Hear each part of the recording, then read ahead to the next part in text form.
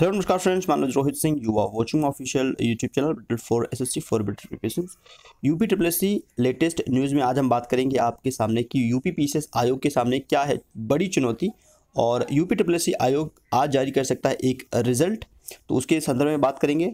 Are O A R ओ और D H O exam के संदर्भ में बात करेंगे। तो पूरा न्यूज़ आज भरा हुआ है अच्छी खबरों से। देखिए, सबसे पहले यूपी पीसीएस में बात कर लेते हैं। नौ महीने में सभी परीक्षाएँ पूरी कराए, कराएगा लोक सेवा आयोग। तो इस पर एक बहुत बड़ा ज़िम्मेदारी है। संशोधित कैलेंडर कल रात को जारी हुआ था, इस पर मैंने वीडियो बनाया है। आप जा सकते हैं, कौन सा एग्ज़ाम कब है, वो देख सकते हैं। इस दौरान आयोजित कुल चौदह परीक्षाएँ कराने का इन पे परीक्षास हैं। सो हम मुख्य मुख्य परीक्षा देख लेते हैं। जैसे कि आप देखेंगे, एक अगस्त से स्टार्ट है, सम्मिलित राज्य कृषि सेवा प्रारंभिक परीक्षा। प्रीलिम एग्ज़ाम है डीएचओ का, ठीक है? तो डीएचओ वालों तैयार हो जाइए। एक समय बहुत कम बचा हुआ है, ठीक है? और अगर डीएचओ का आपका पड़ता है नवंबर में, ठीक है? मतलब एक अगस्त, उसके बाद फिर 26 नवंबर मतलब देख रहे हैं कितना कम समय है तो आपको बहुत ज़्यादा मेहनत करने की आवश्यकता है। पीसीएस प्री जो है आपका, ये देख सकते हैं। पीसीएस प्री परीक्षा ये आपका 24 को है, ठीक है? 24 अक्टूबर 2021 तो पीसीएस प्री यहाँ पर हो रहा है और अगर आर ओ की बात करें तो my dear friends R O A R O आपका पाँच दिसंबर हो गया है। इसका डेट आगे बढ़ना तय था क्योंकि देखिए, अभी आयोग के सामने बहुत सारे रिजल्ट्स बहुत सारे एग्ज़ाम्स अभी पेंडिंग में थे और तो इसीलिए आर ओ आर ओ थोड़ा सा आगे तरफ़ बढ़ा दिया गया है क्योंकि पीसीएस करवाना है और फिर डीएचओ करवाना है। तो ये सारे एग्ज़ाम्स और भी एग्ज़ाम्स आप देख रहे हैं पेंडिंग में पड़े हुए हैं।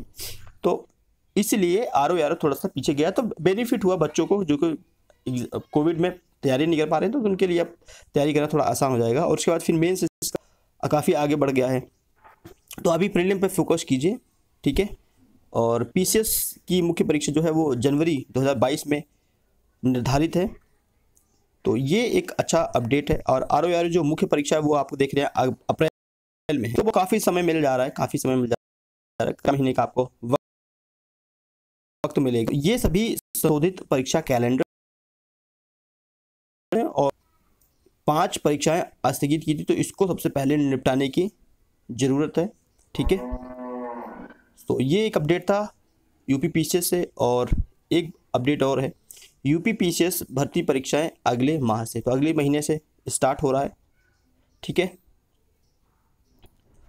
टोटल पाँच परीक्षाओं समेत कुल चौदह परीक्षाएँ शामिल हैं, जिसमें पाँच परीक्षाएँ जो पोस्टपोन कर दी गई थी और और भी एग्ज़ाम मिला के चौदह परीक्षाएँ हैं तो वो सभी एग्ज़ाम अब कराने का ज़िम्मेदारी है, ठीक है?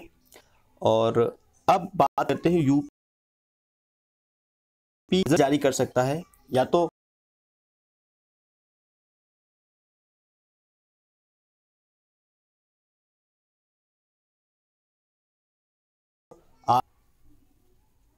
स्टेनो 2016 का जो रिज़ल्ट है, उस पर बहुत बड़ा न्यूज़ ये निकल के आ रहा है कि इसका रिज़ल्ट जारी हो सकता है, ठीक है? एक हफ़्ते के अंदर, या तो इसका जारी होगा या फिर एजीटीए का, ठीक है? एजीटीए का फाइनल लिस्ट दो में से एक का आपको आज मिल सकता है या फिर एक दो दिन में डेफिनेटली आपको मिलने वाला है। और बात करते हैं अगर डीएचओ वालों के लिए तो डीएचओ वाले देखो आपके पास समय कम है। अभी मैंने आपको बताया आपके पास समय कम है।